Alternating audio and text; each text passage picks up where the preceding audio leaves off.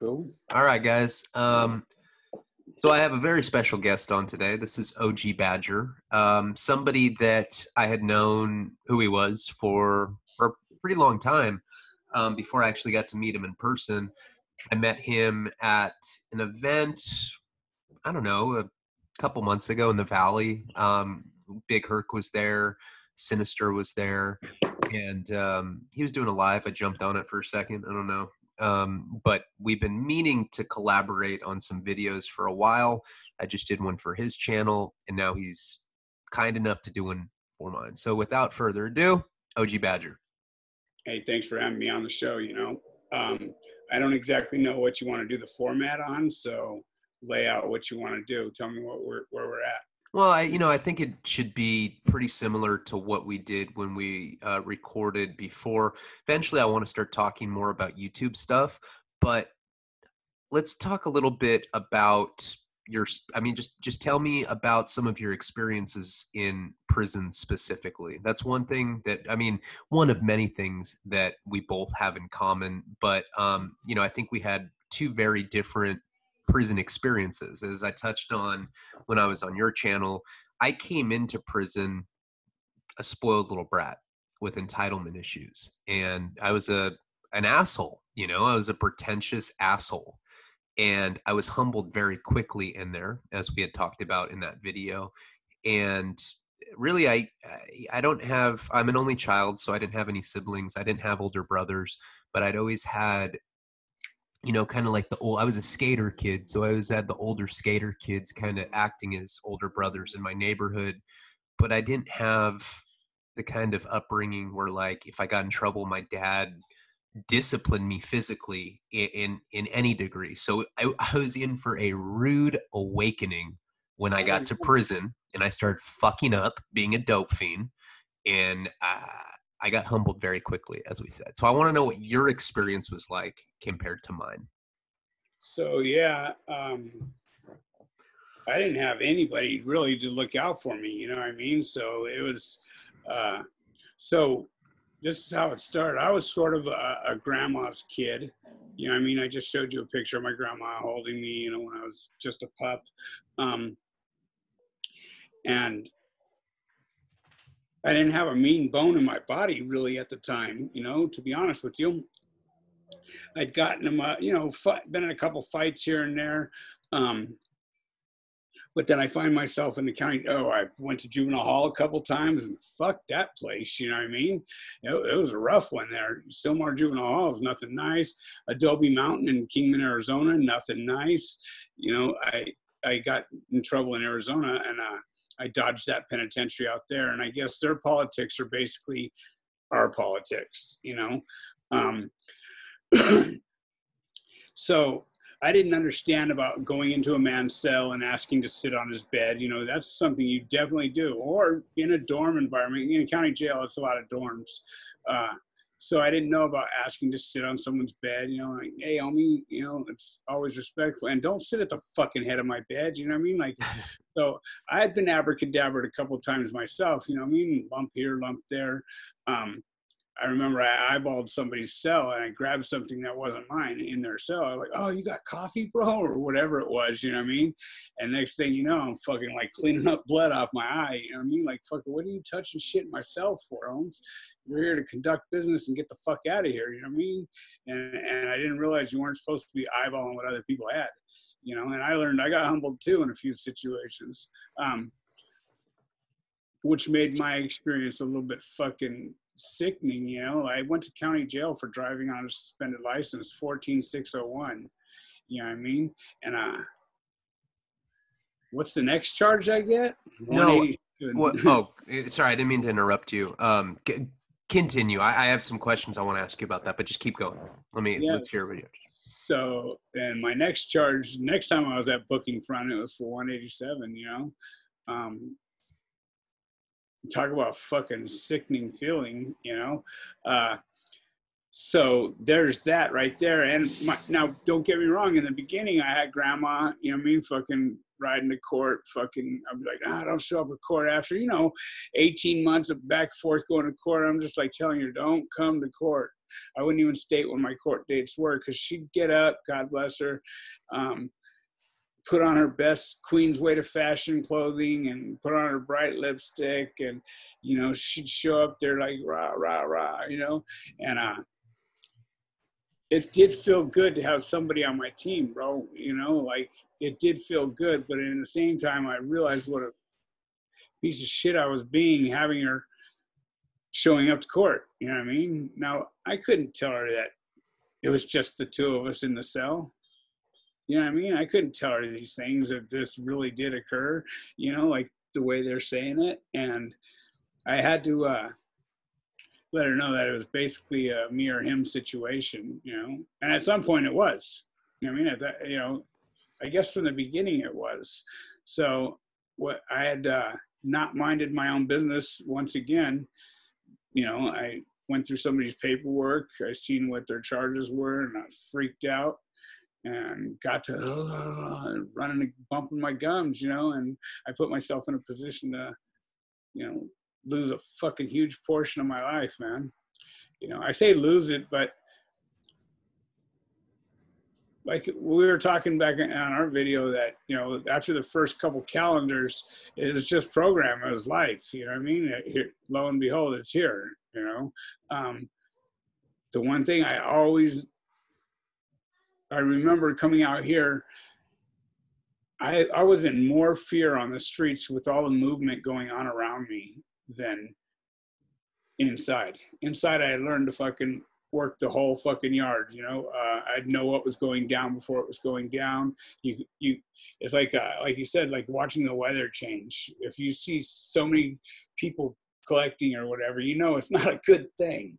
You know, especially when you're allowed to travel three to a per three to a car. You know, uh, anything more than three people, they break it up. So if you see, you know, 15 then 45 and then 90, you know, I mean, all of a sudden gathering up, you know, it's going down. So coming out here with all the movement, you know, you hear about people, oh, the car alarm went off and he dropped to the ground. Well, I felt like that all the time, bro. I was, uh, uh, what's the word I'm looking for? Like I was nervous all the time, bro. Always nervous because I, I couldn't control anything around me. Um, just nothing, you know what I mean? And the, the respect level out here was off the hook, you know what I mean? And people with their entitlement issues cutting you off and fucking not saying excuse me or, you know, just brushing past you or bumping into you and all this shit. I just was not well up here. I remember when I first got out, my mom took me to get ice cream from Thrifties. And the dude said something to my mom, and I felt it was total disrespect. Like, can you wait a minute? You know what I mean? Something like that. And when he came over, I snatched him up. Mind you, I was a hog when I got out. You know what I mean? I snatched him up over the counter. I go, you ever speak to my mother like that again? You know what I mean? And my mom's like, what the fuck? So I had become institutionalized or prison bound up here. You know what I mean? Like I wasn't letting shit slide, but I didn't have anybody looking out for me, you know, and therefore I had to do what I had to do in there. I mean, I extortion, and it was always generally friendly extortion. You know what I mean? And start off friendly. If uh, five of the homies were eating a spread over there, I'd tell the dude, I'd be like, "Look, bud, these dudes ain't liking you.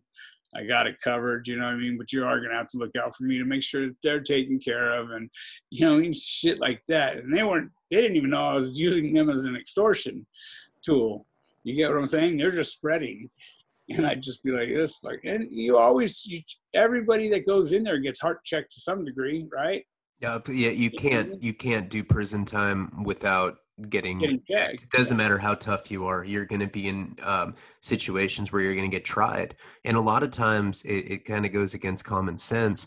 Some of the biggest, baddest looking people get tried by people that aren't the biggest right. baddest looking people because they want to be perceived as that you know that whole cliche uh, so you're not immune to that if you're some big i'm five foot six i'm a midget i'm not intimidating anybody and i had to learn to carry myself like i was six four um, just so that i could be taken somewhat seriously and we had talked about in the other video i mean i was essentially a clown in prison and I would befriend the toughest guy I could and just make him laugh all the time. And therefore, they kind of let stuff slide. What I wanted to ask you when you were talking about when you first got busted for driving on a suspended and then um, when you got your major charge, um, what time period was that and where was this was in the san fernando valley in the yeah, 90s county jail 80s 80s yeah yeah 84 so let me ask you something. Um, I wasn't around. I mean, I was born in '85. So, but I did spend a lot of time in prison reading prison books. You know, which is kind of weird. It's like it's kind of like when you're in jail or when you're in prison and people are watching cops on TV. People, are, you're like, well, what do you, what do you guys want to watch? Oh, let's watch dudes get busted.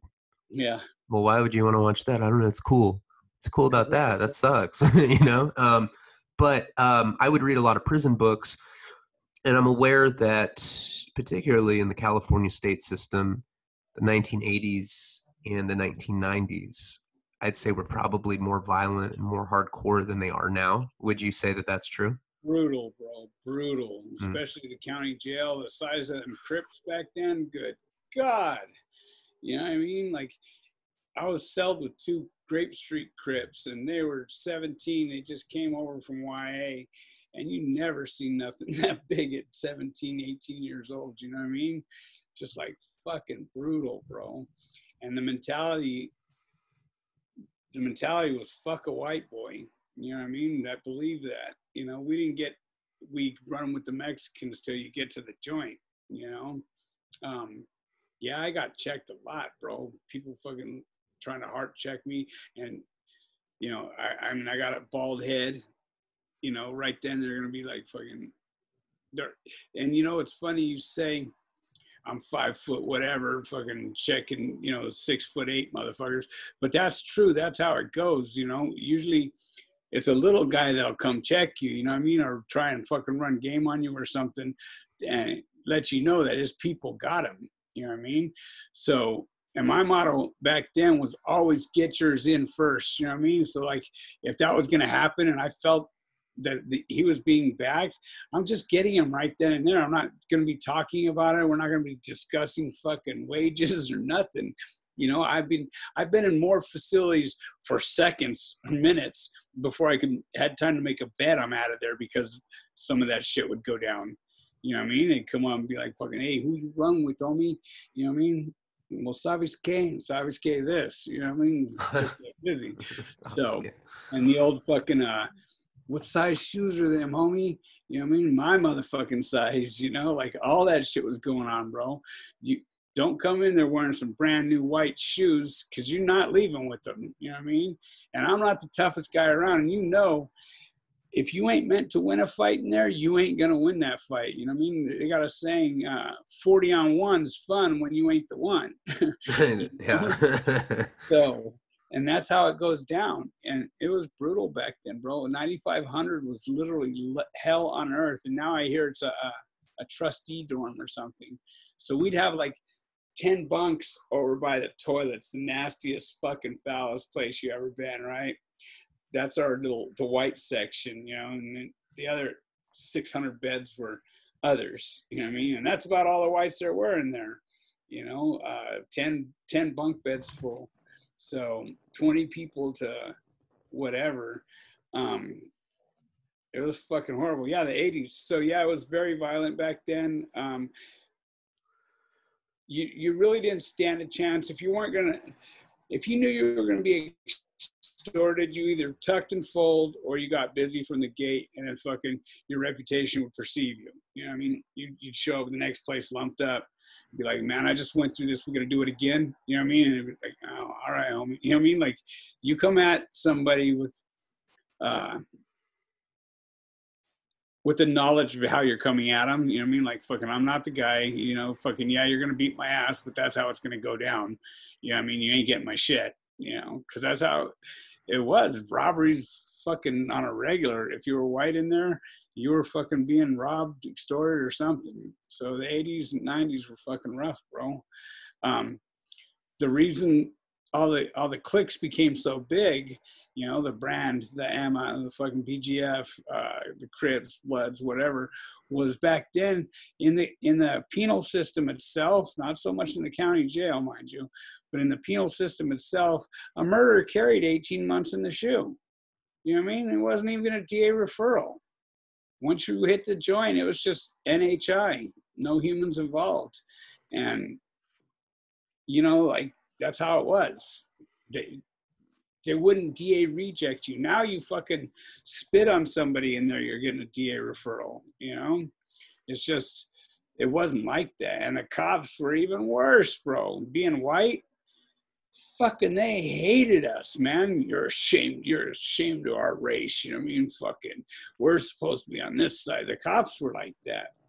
You know, all that wayside shit was going on. The white hands, the cops I don't know if you heard about it. No, that was like the that's the when they were like a gang and they were pretty they much were going at it with gangs and and but they were a cop gang and they would just you know yeah yeah definitely. Yeah, I my, I I have friends that were doing time um in the 90s in Santa Barbara County Jail and like if you had a problem with a cop you could go heads up with the cop in a stairwell and like that's not something that's not true I've heard it from dozens of people that were doing time back then. They're like, no, no, no, we could just go in the stairwell. If you got a problem, what's up? Let's go. Heads up. Whoever wins, nobody's getting charged, and that's it. Because the cops were carrying themselves like inmates back then, like convicts. I didn't you know? see that so much in the county, to be honest with you, but in the joint, even before, just before I left, you know, uh, it was sort of like that. You could still get down with a CO, you know. I mean, in the sheriffs, I didn't so much see that. You may be able to lure one to a, a, a spot, bro, but fucking when you get over there, there's gonna be six of his buddies peeling your dome, and they're gonna smash you out. Well, what what was that thing that happened? It was pretty recent. I mean, it was in within like the last ten years, I want to say.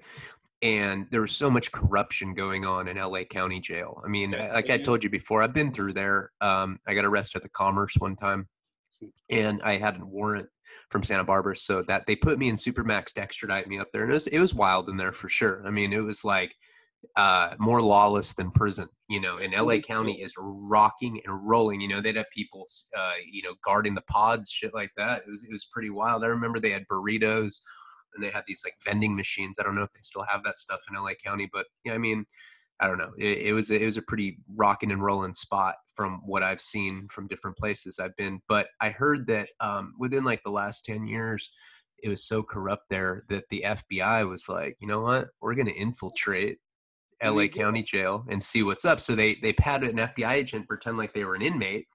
They go in there.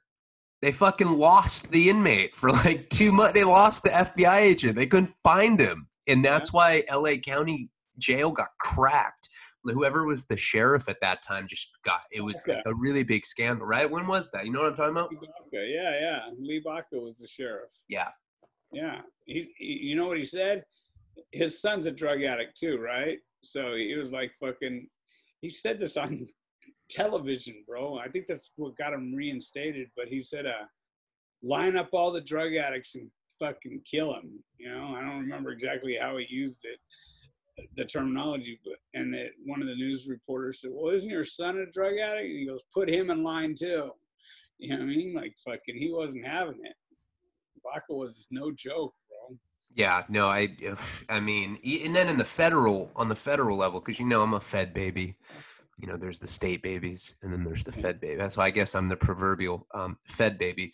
But in the Feds, they had something similar. They had something called the Cowboys. Um, there were some guys that were based out of Florence, Colorado. They were basically a gang of federal COs that would go at it with convicts, and they got in trouble. And I know they've done this at a lot of state prisons oh, in California. Yeah, they, they're the guys that were like gambling on people fighting in the hole. You know, it's like they'd put they'd have yeah. yeah. Oh, yeah, they were doing it at court. Yeah, I heard they did it at Corcoran too. Yeah they did these guys the cowboys they did that and then i know they did it on the state level but yeah they'd have people that were going to the hole and they had like some underground illicit gambling circuit where they're like they're like let's put money on this let's watch this big black guy fight this big white guy and you know they gamble on it and they got cracked for it pretty interesting uh, how corrupt it is same thing happened to Lieutenant Rodriguez. You know what I mean? They feds came in and fucking cuffed him up, bro. I was a wild day. You know, I mean, people tell me to quit talking about it, but that's a huge part of my life. You know, being in your cell, scared every day. They're gonna put you out there with blacks, and you you can't program on the same yard as blacks. You know, I mean, they take two whites, two blacks, and drop them out on the yard. Gunner would, you know, I mean, locked and loaded. Um, uh, like I said, one of my cellies was killed, a 19 year old kid. You know, they ended up killing his dome. And I've often, often wondered why he chose him that day. You know what I mean? And as far as I'm concerned, he got a break, you know, because he had life. He was doing life at 19, you know. And uh, they sent his mom a fucking a bill for the bullet, $2.32 sent his mom a bill for the bullet. I heard they used to do that. That's insane. And you know, I remember, you know, in federal prison, it's I think it's a little more civilized. I mean, don't eh, people underestimate that the federal system can be cracking. Like there's some crazy shit going on in the feds too. But one thing that I noticed, like a very like stark contrast between federal prison and state prison. When I got to state prison, I think it was in Wasco, where I saw it, but it would say like on the wall warning, there's no, no warning, shots. no warning shots like they'll just shoot you they don't even have guns right here on my fucking waistline it says no warning shots yeah warning, warning shots um and uh yeah it's like it's it's it's more it's almost like you're in the wild animal kingdom in state prison and state prison was really really violent. I got in 12 melees in there.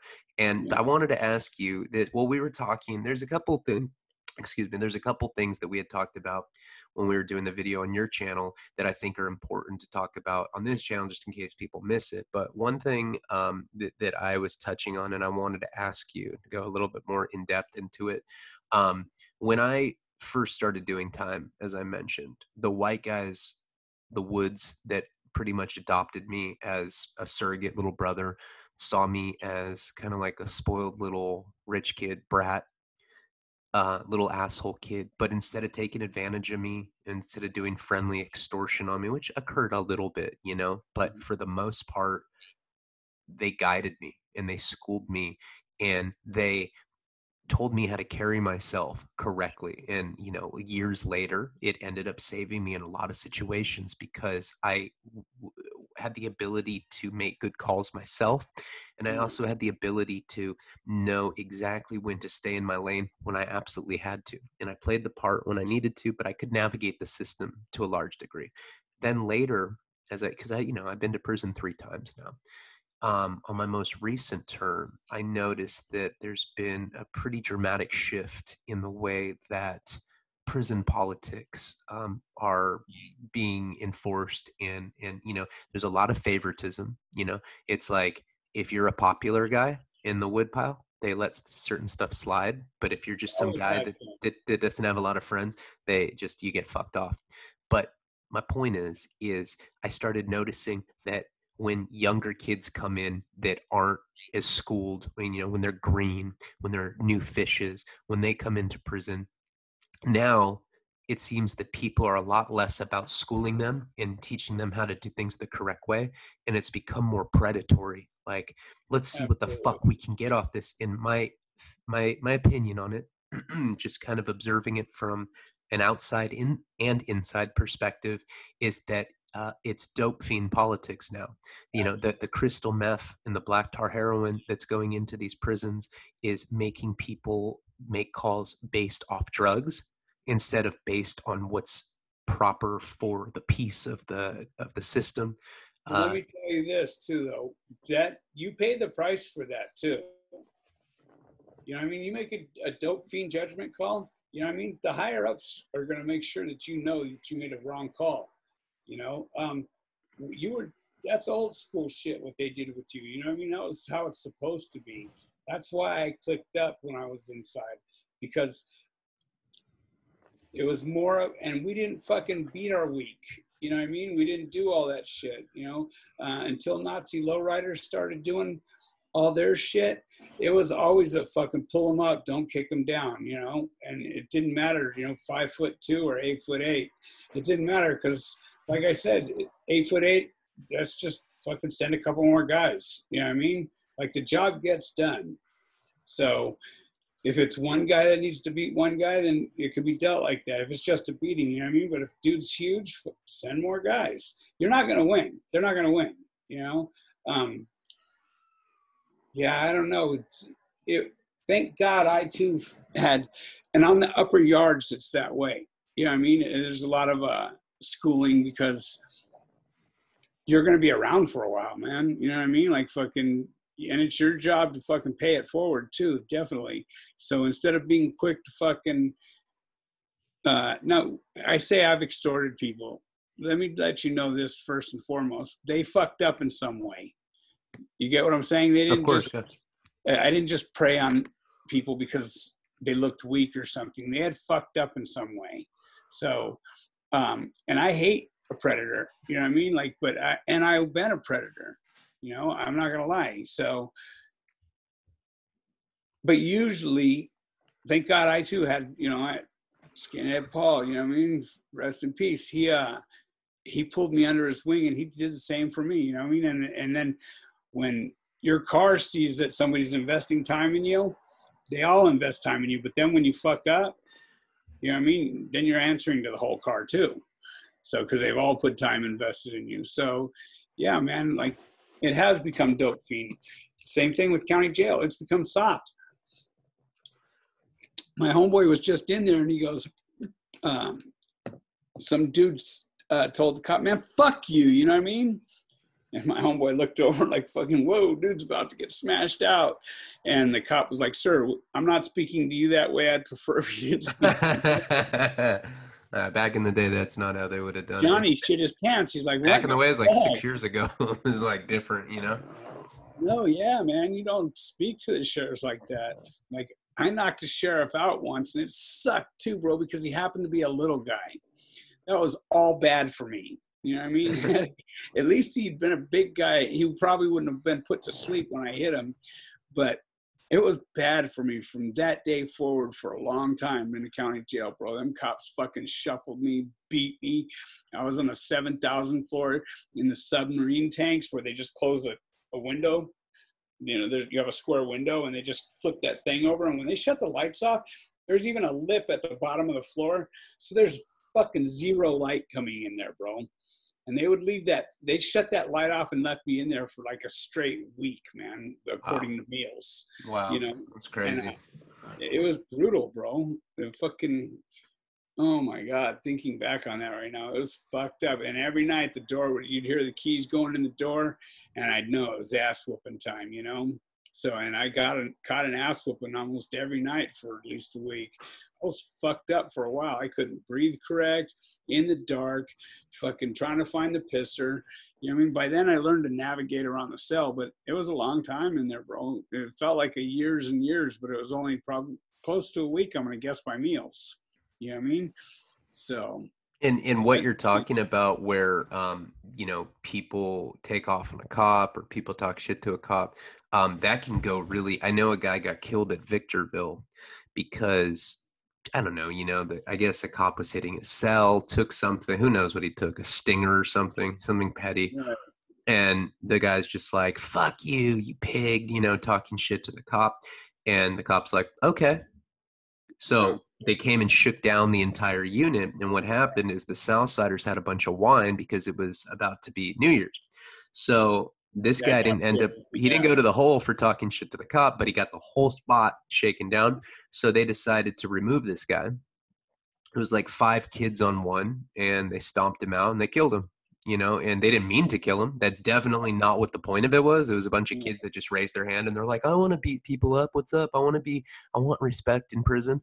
And three of those people um they caught i want to say they caught 40 years behind that 40 years in uh, the feds yeah. for That's it the um, oldest story in the book right there, bro. mhm. It happens almost, you know, daily in there. You know what I mean? I can't say daily, but it happens pretty It's regularly. common. Yeah, it's common. It's a common thing. So it can go two ways. And it's like, I'm not ever saying that I advocate just to fucking beat up cops, but it's like, if you, i- i- as you said, if you feel strongly enough about it, it- you definitely shouldn't just talk to the cop. You know what I mean? It's like, Yeah, i- yeah. if you're not willing to hit him, then you're going to get in trouble. For, and Yeah, even if you hit him, sometimes that can fuck stuff up. And it, it's so it's a very delicate world that you need to learn how to navigate in very quickly. Um, and we talked about like I have ADD. It was so hard for me to learn how to walk with blinders and not look into people's cells. Uh, you know, I'd be like, "Damn, that guy's hitting that guy in the neck, isn't that?" And you know, they'd be like, "Hey, man, don't do that. You're gonna get stabbed by those people."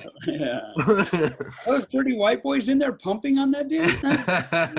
the dirty white boys are holding that guy down and butt fucking him, dude. Is that normal? Yeah.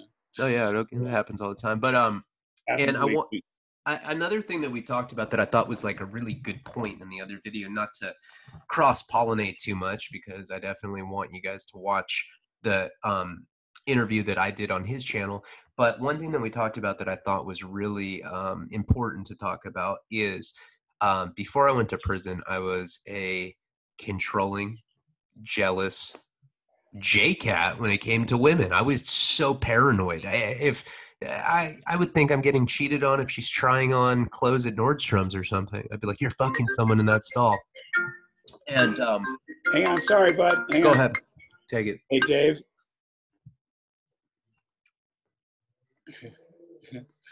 I appreciate that. Um, listen, is, this is your number right here. I'm doing an interview right now, so I'm going to call you back probably in a half an hour. Okay. I appreciate you calling me, Dave. So, all right, thank you, bud. And that and that was Dave's tires. Um, the the link will be in the bio. right. um, then that's an old friend from Bakersfield, actually. So, Uh, okay, all right. Yeah. Old, old, old Kern County, right there. yeah. Uh, those Kern County, those gay. Say something. I do not like Bakersfield as a city, but those guys are a different breed of fucking Warriors. warriors, bro. Yeah. People from Kern County, Bakersfield, anywhere around there is are they're going hard straight. They don't give a fuck. Same with Fresno, dude. Same with Fresnex. Those you know, those guys are are whoa. Those guys are some hardcore people. But um, Yeah. what I was gonna say is, I noticed that. So I was already like that before I went to prison, and I was already kind of psycho when it came to like relationships. I'm I'm not a good boyfriend, husband when I have a girlfriend, wife, whatever. But um, you know, because I'm I'm a little crazy. I you know, I guess that's inherent insecurities or whatever. But oh, right, right here, yeah, me, me too. Um, I noticed that when I got out of prison, if I thought I was crazy psychopath before prison, when I got out, oh my god, it, my it, my my lid blew. I was completely. I've gone. I've I've just gone completely off the deep end when it comes to women.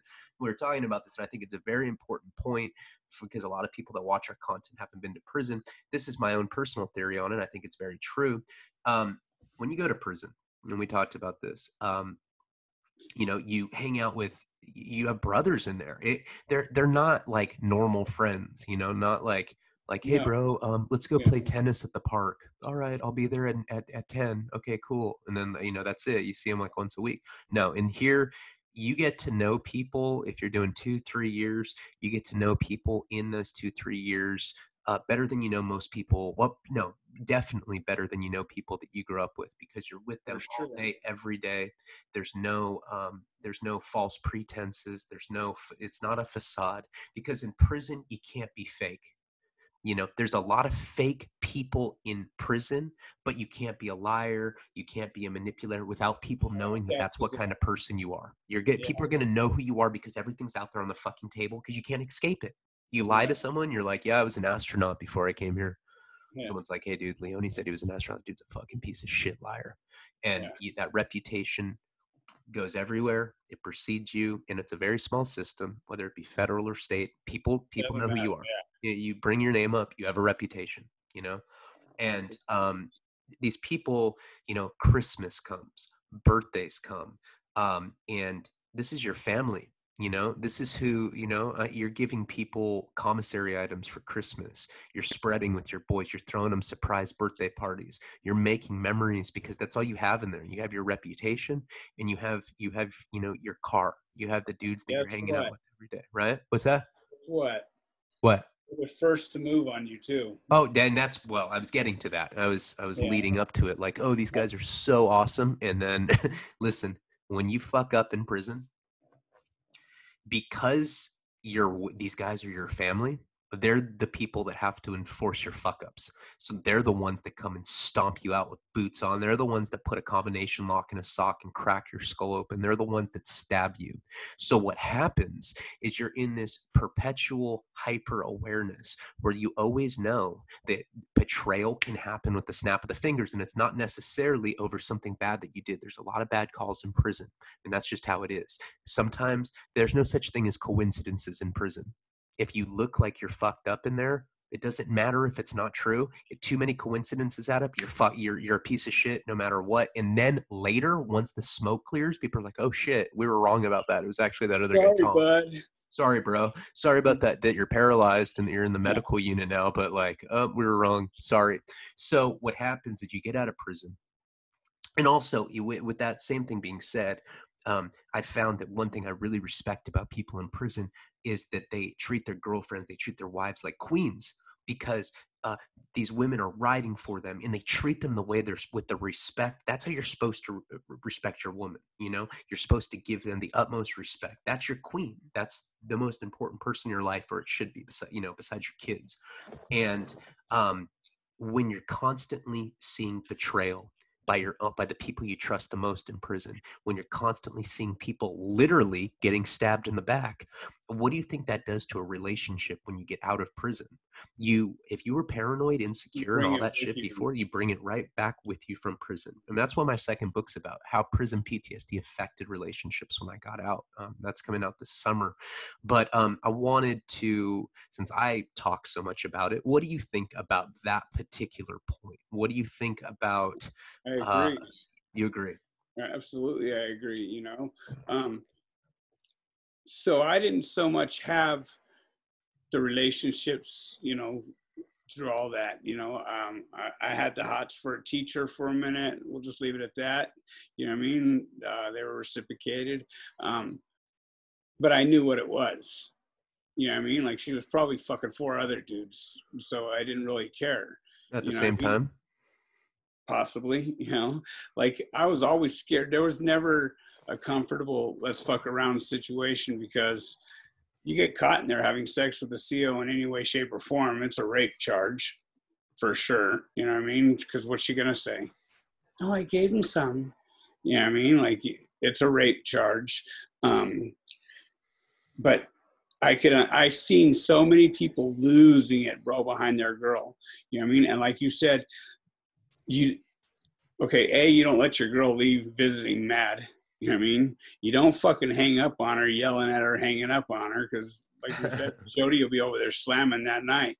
You know sancho whatever you guys call him uh, he'll be there slamming that night. And uh, you learn to appreciate that's what prison did teach me is appreciation of people loyalty you know what i mean? Uh, a bunch of there's a bunch of things that I learned to appreciate and and value. And one of those, the most important one, is my word and integrity. You know, even if I've been smashed out so many times, bro. You know what I mean? Like I've been fucking and you know, it's a rough environment to grow up in. So uh, nowadays, I'll tell you like this. Nowadays, it's not like it was back then. Back then, you needed to have official fucking paperwork.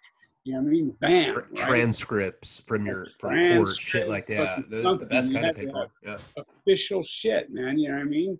A newspaper article, uh, something, you know. But now, I fucked your girlfriend. You know what I mean? And you see me come in, and you've been on the yard for a minute, and you, you know, you're like, oh, that dude ain't no fucking good, bro. Fuck, he could put any kind of jacket he wants on you. I've seen it happen so many times. You know, dudes at Chomo, to where it's not just him getting him. Now it's a couple people getting him. You know, and it's all just usually run back. You know I mean? Trying to get get fucking. At, you know, trying to hurt this individual for what he did to you on the streets. I didn't run into those situations too much because, you know, I didn't have that many incidents on the streets with people. People I was running with on the streets, they weren't in prison. You know, a couple of them were. I've seen a couple of them throughout the years. One of them is doing. Uh, so my best friend, he owns 5150 tattoos in the valley. He's doing three life sentences. Um, and then another partner of mine that grew up across the street, he uh, he's doing like 121 years or something like that. 100, I think it's exactly 121 years. Um,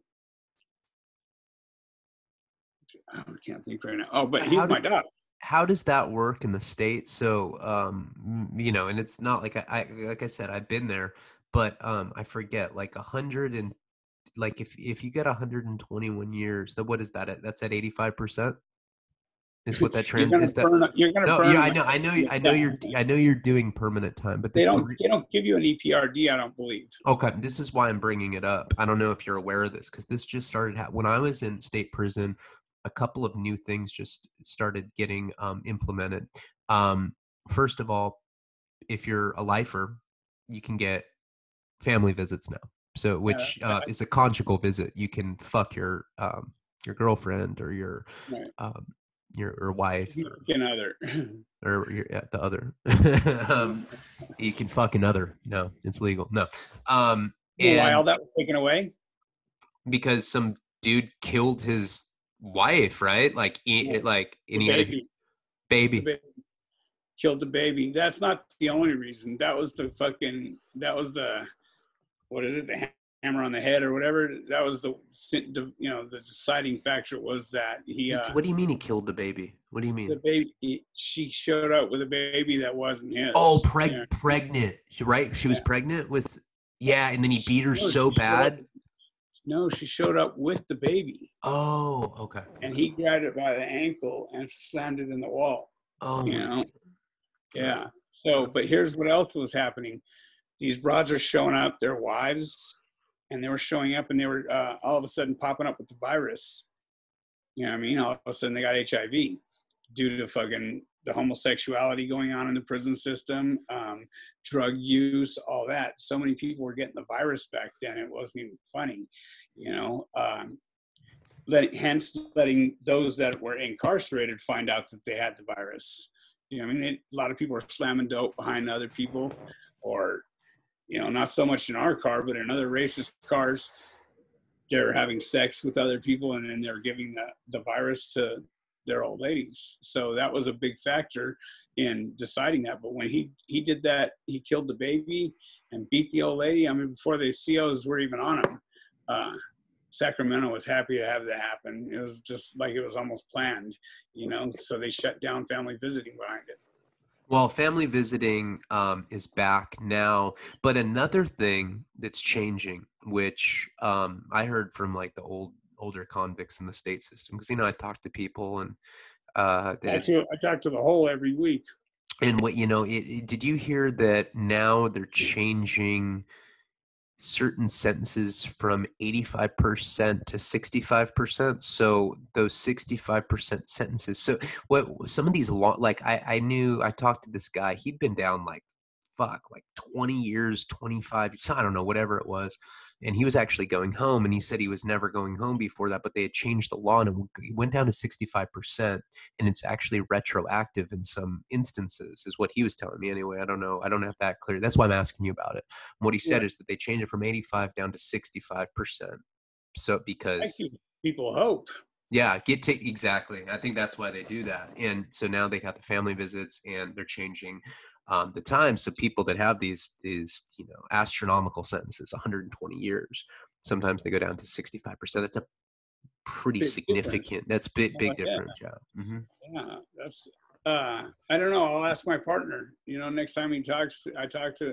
Cause I talk to him once a week, twice a week. I, he messages me on Messenger pretty regularly. Hey, what's up? I could probably text him right now and be with the whole. I actually did an interview with him on the phone you know what I mean? I, let, let, I did a live and let everybody ask questions, and I would ask him, uh, and I, you know, I posted it. Uh, you know, I did a live and let him answer all the questions that they had. Um, he's a reality check for me all the time, man. Like, because I I've been out here for a minute now, and I get ungrateful too. I gotten way ungrateful, way unappreciative of my girl. Um, way unappreciative that I got a soft bed and a nice pillow. You know what I mean? Nice smooth blankets. I, have become uh, freeionized. you know what I mean? Like I've learned to not appreciate everything so much. And he's a reality check for me. A couple weeks back, maybe a month or two back, uh, oh, it was New Year's. Yeah, he's all, hey, I hope you have a fucking good New Year. I'm like, fuck a good. New I was all pumped up, thinking, man, I'm gonna make this year my year, you know, blah blah blah. I go, fuck a good year. I just want to have a great year. I'm gonna have a great year. And he tells me, you know what, Badger? The only thing I can hope for for the remainder of my life is to have an uneventful year. You know, I mean, I'm like, damn, that's sunk in, man. That's heavy shit. You know? That's that's the absolute truth. Oh man, for sure. Um, I just, I mean, dude, I uh, I got off parole today, as we talked about, which I'm so like Congrats. You know, for, for, for me, yeah, thank you. For I've been on probation or parole, whether it be county, state, federal, for the last 17 years, and this is the first time in the last just one year I got out of prison March 25th of last year. So tomorrow I've been out of prison for a year. I did a lot of stuff this year that I'm proud of. Um, being a good father is, is at the absolute top of that list, and being a good father for me was staying the fuck out of trouble which in i wasn't perfect by any means this last year but um he you know i i always tried to put him before myself and i didn't always do that. I'm adjusting to having to sure. where it's not just me type thing. But you know um my girl and i'll fight just like anybody fights with their girl and my fight my girl's got a bad temper and we'll just be screaming at each other usually over petty stuff. Like today we were fighting because i lost our debit card in a time of a global pandemic we're like you shouldn't lose your debit card. Like it's the only way we can buy milk and shit for our kid. And i lost we're screaming at each other and she's like look through the trash. And i'm like i don't want to. She's like you're a pussy. And i'm like why are you calling me names? You get mad when i call you. Anyway we're fighting over petty stuff. And once in a while i, I take pause and i'm like look i remember all those nights when i would call you from federal prison state prison wherever it was and like and I'd be spitting game like baby I would give anything this, right now. just, woo, woo. just to be in your loving arms again. Look at this flower I had a paisa made out of toilet paper and yeah. you know like it look at and um you know I used to say stuff like I'd give anything just to be cuddled up watching Netflix with you right now. And now I find many days where that can be a reality but we want to trip on the dumb shit and I, I really got to I, I got to like really think about it and be like you know where was I a year ago as taking gr- group showers in state prison. Right. And I miss it. I miss it for sure. I'm not saying I don't. But How about uh, this one?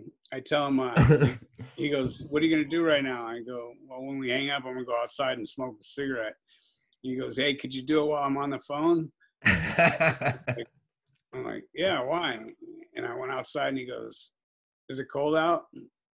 Mm, is that air fresh? Or, you know what I mean? Is it chilly air or what? I'm like, fuck. You're you know, the, on, on four yards, there's no night yard, bro. Yeah. You know what I mean? You're fucking, that's it. It's wrap. You know what I mean? And to be able to walk outside and smoke a cigarette and fucking free, cool air, you know I mean? That's a blessing in itself because by all rights, there's people that have done less charges, less shit than me that aren't coming home. You know, I need to get back into reality sometimes myself, man, and and check myself. It's hard too because I've become, like I said, freeanized or whatever, you know, I mean, Californianized. Just gratitude has gone out the window a lot. Um, and I have to check myself from time to time and just be grateful for where I am at. Yeah, no, de- definitely. And, and I think this is a good segue into what I wanted to talk to you about because you have a successful YouTube channel and I've watched your content and I really I really do enjoy it. I find it really interesting stuff. Um let's talk about how that came to be because it's definitely changed my life. Um my channel probably has about a third of the subscriber base as yours, but even still, now that I have Patreon, I pay my bills 100% through my content um, I also have a book out, but you know, just through content that I create, I pay all my bills, and I, I, look at that as a huge blessing, and I'm extremely grateful that I'm in that position. Um, my girl doesn't work. I have a son. I'm able to provide for my entire family just off content. That's that's amazing. I certainly encourage a lot of other felons and people that have been to prison to try to do the same thing because it, it really is something. Um, it, it's really cool that we can monetize past life experiences because people that haven't been to prison find the shit fascinating because I'm sure it is, you know?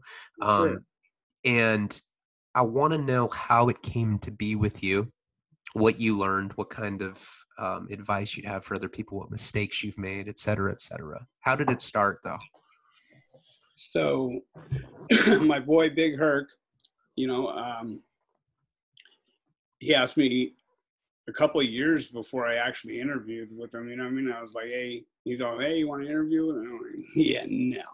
You know what I mean? Like, I wasn't on the path that I'm on now either, though. Um, and then finally, when uh, it did come time, I had to ask permission. You know, I mean, like, "Hey, we don't talk on camera." Is the first message I got, and I was like, "Man, I've already done all my shit." You know, I mean, I got a walk away pass. Pretty much, I'm, you know, I mean, like I I was I asked to go to NAAA or whatever it is, you know, because uh, that's frowned upon in, in certain cars. You know what I mean? Like, uh, really, really, I never heard that. That's crazy. Uh, Seriously. You know, they call it the Hug-a-Bug Club, the Rainbow Coalition. You know what I mean? Like fucking, I'm in a hateful car inside. You forget. You know what I mean? I yeah. run head. Oh, so, oh, oh yeah. You know okay. I mean? Well, yeah. so yeah, I'm in a hateful car. So mm-hmm you know, and then when I thought, man, I've all the work I put in for us and fucking this and that, you know I mean? Like fucking, I just want to be a dad now. You know, I want to be a grandfather or whatever the case is. I want to be that. I don't want to be this anymore. I don't want to be collecting taxes out here. I don't want, you know, I didn't want to do all that shit. And uh, finally, I told them, man, I want to try and, you know, change somebody's life for the better. And they're like, go ahead. You know what I mean? Just don't reveal too much. Don't say anything you're not supposed to say, you know? I'm like, cool. So I told her, I was like, hey, they said, it. cool, you know what I mean? Go ahead.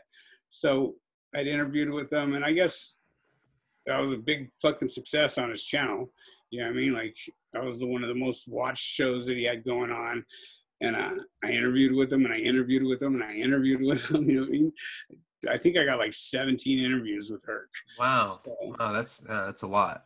Everybody was all like Badger for president, you know, I was going through the comments all the time, and you know, you fucking rat piece of shit, punk motherfucker, reading all this shit. So my first thing to tell you is, don't respond to those. Don't as hateful as you. I posted. I I posted my paperwork. I was like, you know what, motherfuckers, I'm gonna post my shit here.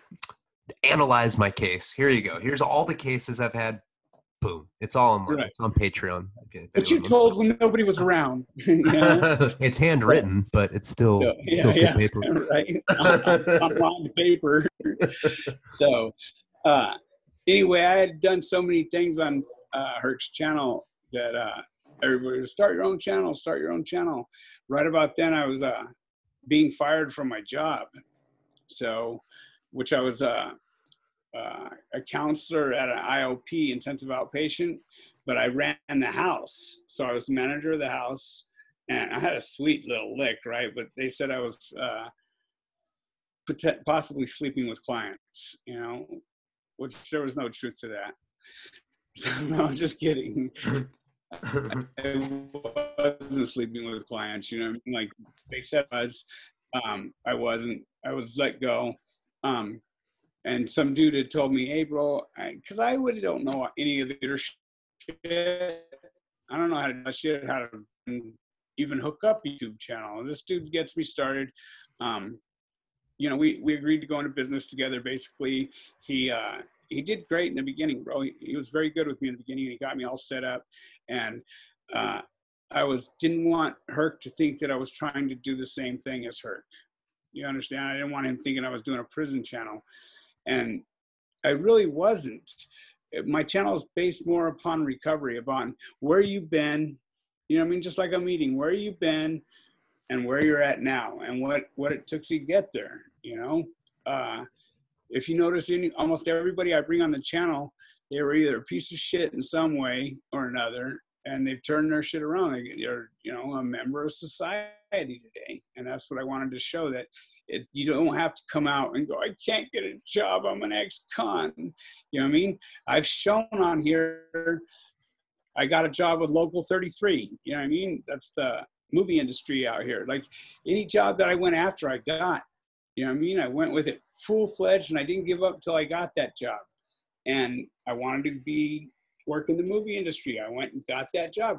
I just wanted the ex-con that was coming out thinking he's going to get a job ducket. You know what I mean? And it's going to be on his pillow when he gets home. That you job, get off, job ducket. right? Uh, that you got to get off your ass and go get what you want out here. Nobody's going to give you shit. That's what I wanted the channel to be about. You know, to let us know that when we come out, and that's why I left all the negative comments up there. You know what I mean? All them calling me names. My paperwork's golden, bro. I walk any main line. You know what I mean? And I sure would hate to have to do that today, because why? I would become the real Badger again. You know what I mean? The Badger that I don't want to be. You know, like I have a name, bro, and you know I just always been Badger since the beginning of time. It seems like you know, and that's he wasn't always a nice guy. You know, and I've totally turned my shit around. I told you, you know. Bruce Lee philosophy, AA philosophy. I had to learn to become a man out here because I knew this much. I did not want to go back to prison you know, and I wanted the next guy that got out to fucking had to sofa serve or go to the GR office and get a motel voucher to know that you didn't have to pick up dope or rob the next guy that comes into the hooker's room. You know I mean? To to know that we could turn our shit around. You know what I mean? Yeah, it was fucking a long, hard road to get here, bro. And my thinking was fucked up in the beginning. I mean, I was as institutionalized as they come. I was I would cross the street if I seen me walking down the street back then because you you know that aura that we put off when we Oh, come yeah. out. Well, it, and it's it's women women can smell it, and and it can be sure. very um. can be- They're all over it. They're oh yeah oh yeah they can smell it on you. They're like oh my Yeah. god I can smell you. I want to suck your dick. You're like yeah, exactly. I can you do push-ups. Right. exactly. and uh and but so women can smell it on you but then men can smell it on you too and not in a sexual way in a very um threatened or threatened way you know? Threatened way, yeah. threatened you know? It like because you you care dude i like i'm a short little midget guy but i i walk around like uh, i'm the most confident guy in the world and i walk Right. like a convict. Everyone says that. They're like dude you have the little strut where you like yeah you got you walk around like joe pesci you know? And i'm it's you know that's from prison. Um so you started the channel and I mean, Big Herc essentially opened the door for you. Big Herc's a good guy. Been on his show. Um, I like Herc a lot. Um, what happened after that? I mean, when was that? It was a couple years ago. You're saying? So yeah, my channel uh, opened November in 2017. Wait, 2018. 18, 19. Yeah, so it's a little over a year. You know what I mean? That my channel has been open. This is uh what year is this? I'm not sure. Uh, 20. It's the end of the world. Okay, It's so yeah. uh, November 2018, I started the channel. Um, now, mind you, I have access to every ex-con in the valley because most ex-cons ain't trying to go back to prison. So they're where they go to the rooms, Alcoholics Anonymous or Narcotics Anonymous, because 95% of them are dope fiends. You know what I mean? Dope landed them in prison one way or the other. Oh, and NA is definitely the convict Right. I don't do choice any- over AA, right? yeah. You go to Yeah. AA. Okay, good. AA is better, I think. Yeah. Anyway, it doesn't matter. not much ego there. But I mean, if I want to do NA, I go there because I need somebody to interview. that's your that's your fishing pond for the channel. So, no, it's real shit though. You know, I Mhm. can go there and pick. You know, all the ex-cons are there, so you know. And that, I wanted my channel to be based on recovery and not just uh, recovery of prison. I just wanted it to show people because I have a big pulling with the homeless, bro. I do a lot of shit with the homeless, you know. I go to Santa Monica and try and feed them. Most of them don't want food, but like I do shit like that. The one thing they'll always take, if anybody out there is trying to help them, they'll always take clean socks. You know what I mean? They love clean socks. But I do a lot I'm of not even homeless and I love clean socks. I love new socks. There's nothing but okay, go on. Sorry. Yeah, no, yeah, it's true though. But uh, like I was finding that I was wasting money buying, going to Taco Bell and buying burritos and passing them out to the homeless down there. I ended up giving them more to uh, tourists than anything because the homeless didn't want food so much. You know, most of them. Mm, Yeah. You know, mhm, mhm. So when I would, so then I got, I had a, me and a partner of mine had started, a, you know, paying for a bed. We were like, fucking, let's get people off the streets, man. If we're not gonna open a, a fucking sober living, but let's get people off the streets. So we went in halves on a bed in the beginning, you know, um, And when I say that, what we do is we were paying for a, so, one bed in a sober living home that was always ours. At any time, we could fucking bring somebody and put them. Wow, that is really that's really good idea. That's really cool of you. I've never heard of someone doing that. Super cool. Yeah. I still do that, um, and it's hard. Right now, it's going to get even harder. You know, because yeah. that, that's what YouTube is mostly paid for that bed. You know, since I've been since he backed out, uh, you know, YouTube has picked up the slack for that because he backed off after we are we committed to a year, and I've been doing it way more than a year now. So got the receipts to prove it. Uh, there always people always ask, "Oh my God, you're trying to get free Narcan to people? We want to see receipts." It's like, right. all right. well, me and her have fought about that several times too, because she's like, "Hey, man, that's a car payment. You know, I mean, that's a car payment with insurance. You know, and like I know, but you know, like it's my way of giving back, you know. And it helps you stay sober, right? I mean, that's what it helped. Whenever I help people, that's I tell people all the time. I'm like, I help people because I'm a selfish piece of shit dope fiend. I help people to feel better about myself because I've done so much bad shit. I pay a karmic debt, man, and that's it. Yeah, however I'm doing it, I'm making the world a better place. It doesn't matter why I'm doing it because it makes me feel better and it keeps me. That's up. right. Feel that fucking inner void, man. Yeah, you know? for Plus, sure. Mm-hmm. It it puts me in a position to have to deal with the homeless too a lot because I, my, I like to focus on the vet. You know what I mean? If they're out there, I like to pull vets in. But so many people, bro, I've taken, pulled them off the streets, got them a little haircut, and fucking brought them a couple top ramens and put them in a bed, gave them, let them shower and shit. And then the fucking next thing you know, they're thanking me off their ass. They're in their own bed. You know what I mean? And I can bring someone else and put them in that bed again. And it just it's a never ending vicious cycle for them because you know they're doing great now they got a haircut they're fucking got a little phone selling job or whatever and life's now beginning for them you know they're not waiting for a job ducket they had to get off their ass and if they're not in the step work the job you know the step work is what i push a lot i'll kick you out for not doing step work before i'll kick you out for not having a job yet you know, I don't pay for that bed for that one individual for the whole time they're there, bro. So you are you're a 12 step guy then, obviously. I mean, that's oh, yeah. you're, yeah. you're in program then yourself. Yeah. I've worked the steps. I still work the steps, do 10, 11, and 12 every day. You know, um, we do 13. Me and my wife just do the 13. Yeah, that's gotten no. a lot of trouble, my boy. yeah, no, no, that's why I went to the program in the first place was all the females. I'm not gonna lie, that's what lured me to the program. Pretty soon, I was going for the healing that I was getting out of it, you know, because I didn't know how to function out here, bro. And I was going back to prison within any short time frame if I hadn't gone to the program and learned how to live out here, and simply by watching other people and mimicking them in the beginning yeah, I mean, just like you do when you hit a new yard. If like you're a convict, yeah. if you were a true fucking, and you, I mean, I don't need to tell you this. I'm telling this to my audience. If you're a true convict, this is what you do. You hit a prison, and you don't go beat up the biggest person right when you see him. You don't do it in the movies, dude. Oh, oh, that that six foot eight black guy. I'm gonna go stab that fool just to prove a point. No, you don't do that. That's not what you do. You go and you don't fuck. You introduce yourself. I'm Ryan from Santa Barbara. How you doing? Respectful hands eh, uh, squeeze somebody's hand like a man firm handshake eye contact but then you go back recoil and you observe everything so that you can start figuring out how the place around you is working and if you don't do that you are setting yourself up for danger you need to be aware of what's going on it's the exact same thing on the street we'll teach you how to fucking pay attention. You know what I mean? If you ain't paying attention, you're that's right. So it's interesting that that's how you do it in the free world. That you went to NA and you started just be doing the same shit you learned in prison, just being an intuitive convict, knowing what's up.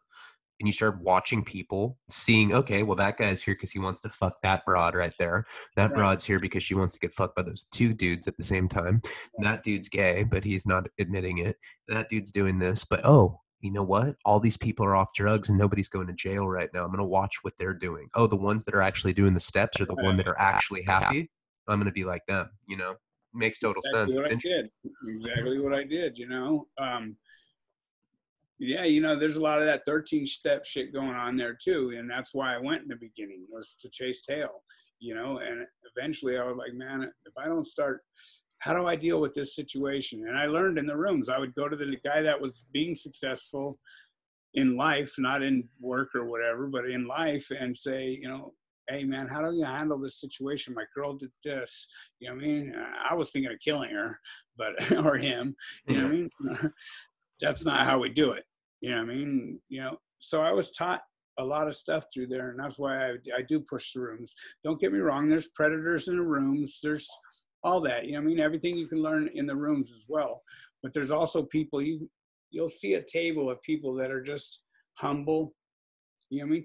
You everybody in the room is a fucking tool to me, a perfect tool. Either the jackass that's running his mouth all the time, doing whatever, he's a tool. I look at him and go, all right, I don't want to be him, right? Then there's the guy who's humble. He pulls up in a cool little fucking, you know, 67 Mustang and he's just all cool, you know, just whatever. And he's humble. He's like, he, hey, did you need a ride home? You know what I mean? I'm gonna stop and get coffee. Did you want something to eat? You know, like they know when you're new. So people hit me up like that and started treating me with a little bit of love, man, you know? And I try and play that forward, you know, because I my thing was what can you get for me? What do you have that I could benefit from? You know, that's me in nature. That's natural. But that's, you know, that's not how I try and live today. Well, and, and again, that's stuff that you you know when you're like well i had to do it you know you have to do what you have to do to survive in prison and and part of that is eating you know simple things that people don't don't but everything in prison is a different language than what's out here. Everybody has a different intention. You'd have not, you have to learn how to read intentions, and that's why. And I know that you're a good poker player. I'm a I'm a fantastic poker player. I learned that shit in prison because I learned how to read people. You play and the people, not the cards. You play the people, not the cards. Exactly. Exactly. I, we you know what? We should do a collaborative video on poker on how to start a table in prison, but how to play prison poker all the strategies that I've talked about, and people are like, I want that. We should do that. For sure. For sure. Yeah. We'll do more shit together. We'll see how, you know, we we do for each other's channel. I'm sure we'll do great. Plus, we'll chop it up. Yeah, for sure. We'll, we'll check in um, not well, not that kind of checking in, but we will check in with each other. Um, yeah, yeah. I, I want to ask one last thing. Um, so now that, and it's not, I, I, didn't realize that you were doing that and getting people to bed. Right now, um, I just lost one of my best friends uh, last November.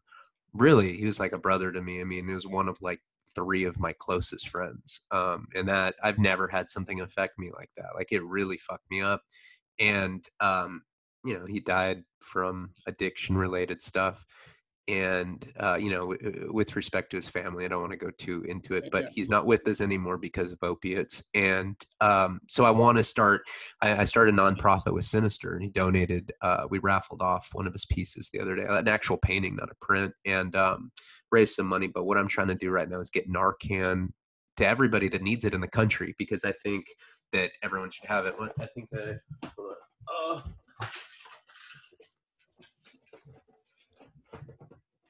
Ugh. So like I have that, and I'm not shooting heroin right now. I you know? one in my backpack. but everybody in the country should have Narcan nasal spray. This is two doses. So on the East you know. Coast, on the East Coast, they cost three dollars. That exact box right there costs three dollars here in California with insurance, it's $150. Yeah, mm-hmm. we box. talk about that. Yeah, and they give them away uh, needle exchanges, methadone clinics. Needle but if you're buying them, yeah, it's 150 bucks. I talk about that on my channel. Bucks, yeah. I want to start giving these to everyone because there's a, a, real need for it on my channel. A lot of my channel, shockingly, is uh, addicted okay, to drugs or, or or in recovery. You know, and if my friend Paul had this at his house he'd still be with us. I mean, his his fiance found him, you know, maybe 20 minutes after he'd gone out. By the time the ambulance came, 10 minutes later, it it was like right at that point where he was still in respiratory arrest, and they could have saved him if they had if if she had had this there, he'd still be alive. So I feel like it's eh, you know not too ambitious of an effort. Raise some money, provide free Narcan for people that ask for it. Start with that, but eventually get corporate sponsors. I want to get them in every from the gate. Every Skip Mc- all the bullshit, man. Go straight to Narcan and be like, look, this is what I'm doing out here in California. You know what I mean? Because it's not as easily accessible as it is on the East Coast. I want to make sure that Narcan gets out to everybody imaginable. What will you donate to us? Yeah, well, that's that, and that that's the strategy. It's like we just did that raffle. We did it. I don't know, um, right in the beginning of the month. So you know, AdSense doesn't pay us until next April twenty first or uh, April twenty first is when we get paid for the raffle. But when we get that, we're gonna start a non. did it through AdSense. What's that? You did it through AdSense. What the the fundraiser? The money. Yeah, I should have done through GoFundMe. I know. Stop. I know. Stop. We've had this conversation. Sinister calls me every day. He's like, "You're stupid. We could have been saving lives earlier. We, but we are sending them out right now. But it's just the problem No, is, it's not that. It's just how much money they take off of us. oh yeah, they take what thirty percent or some crazy shit, or is it more Oh. than that? It's Or- yeah, it's more than that, bro. It's more than that. Uh, I think I get sixty cents on the dollar.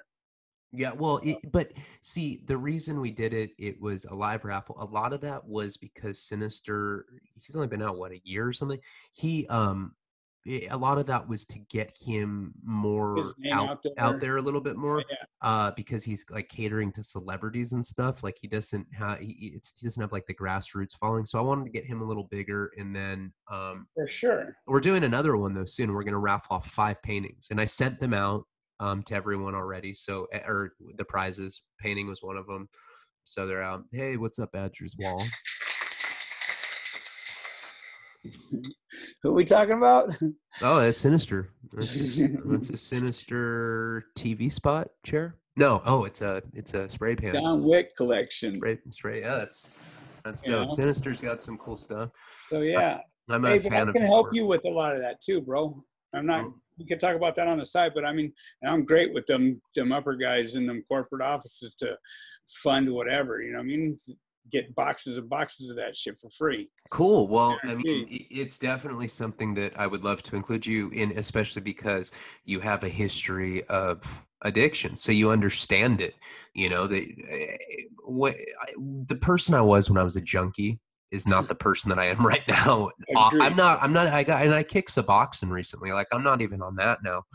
And um, I- a lot of the the reason that I did that it was because well first of all i was abusing him i was injecting him into my fucking neck and you know i tell my wife I'd be like it's just it's a it's a fucking prescribed medication she's like i'm pretty sure you're i'm pretty sure you're not prescribed to slam suboxone in your neck i'm like you don't know that my doctor gave me a special note you know Right. and uh, eventually I had to stop it. But part of the reason is I was just over not being in touch with my pain. You know, I was masking it, and I, regardless, you know, Suboxone saves life, and it's a great crutch for when you need it. But there's a point where you don't need it anymore, and you shouldn't be doing it if you're using it to escape. You know, and that's exactly what I was doing. I was using it to heal. Now I'm off it, and you know what? I've had to face my pain. I've had to face the pain of losing my friend Paul and how much it's hurt me. But that's real life. You know, you can't if you run. What does social distortion say? You can run your whole life but not go anywhere. That's what I've been doing my whole fucking life, and I'm over it. Anyway, Badger, I Social appre- D. you agree? Um. I love Social D. Oh, I know. Really? I I I did. I I don't know the '67 Mustang and the flannel. I was. I'm shocked. You like social distortion? Really? Absolutely, What's up? I did. I saw him in um, Pomona uh, for New Year's a couple years, a few, well, a couple years ago, like five years ago or something, and uh, it was it was amazing. It was, I love that crowd. Anyone that goes to a social D is that's like our people, right? Like that's our crowd right there. You know, like I I fit in with those people. You know? That's my shit right there. TSOL. Yeah. Mhm. I've seen so many of their shows. Fucking Misfits. Uh, you know, I mean, just No, I love the Misfits. religion. I got you a know, Misfits tattoo on my knee. What can we I, see it? I got one too. Oh, oh yeah. Uh, She's right there. We're all yeah. both Mm. showing our legs.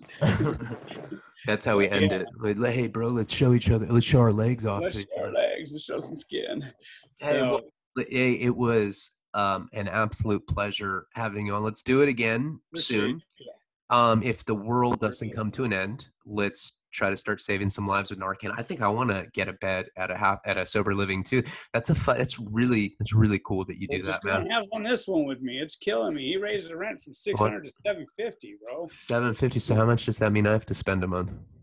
Three seventy five. I, I can do that. I can do that. Seriously? Are you committing? I'll commit to it. Take you there and show you to it. It's Show live. shit, It's bro. live. I can't. I can't take it back now.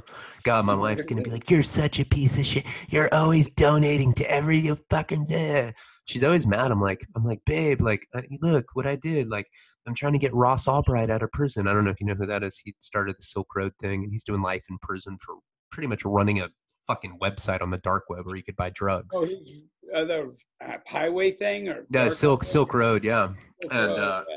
Yeah, I donate every month to get that dude out of prison because I truly believe he doesn't believe to have a fucking life sentence. When all these senators that just had insider trading because they knew the coronavirus was going to collapse the economy, oh, and they're not going to jail? What, what the fuck? We're not going to forget about that, guys. Yeah, and I don't ever want people. I I root for the bad guys in movies, but I'm not rooting for the senators that are Oh, fuck you no. for all the time that we've done in prison for your fucked up laws and you're doing stuff like that to normal people. Nope, you need to go And to now jail. it's changed to where some of the shit that people have gone to prison for are no longer fucking prisonable offenses. Yeah, fuck. nuts, nuts, nuts. It's all crazy. It's bananas. All right, well, it's due on the fifth. Yeah, well, yep. Um, uh, hey, write me a store list. uh, I'll, yeah. Hey, I'll green dot you, bro. uh, that's how they're doing shit. That shit wasn't around when I was there. oh, that's a new thing. Yeah, they're doing Yeah, that now. none of that shit was going on. I mean, I don't know. Allegedly, they're doing that. I don't know what they're doing. Yeah, yeah, yeah. So, uh, Hey, so where can we find you, OG Badger, for the um, probably the three or four people on my channel that don't subscribe to your channel? Uh, where, where do, heavy hitters, man. You know what I mean? Don't Do be your- shy. do your do your signature um, heavy hitters thing, and then I'll do my Some palabra. it to happen. Some people need it to happen, but heavy hitters make it happen. Nothing but love and respect. Shout out to you. Thank Yeah. you for having me on your channel, my boy. You know, Re- respect to you, and and serious about the bed, get in touch with me, and you know, what I mean, thanks for the three hundred and seventy five dollar cost that I've just incurred. Expensive video. Don't tell my my chick, okay? That's between us. All right. Hey, and I'll say one last thing. Thank you everyone for checking us out. Like, comment, subscribe. Check out OG Badgers. I'll put his link in the com- in the pinned comments, and I'll close it how I always do. Palabra, Thanks, you guys. Tune in, man. palabra.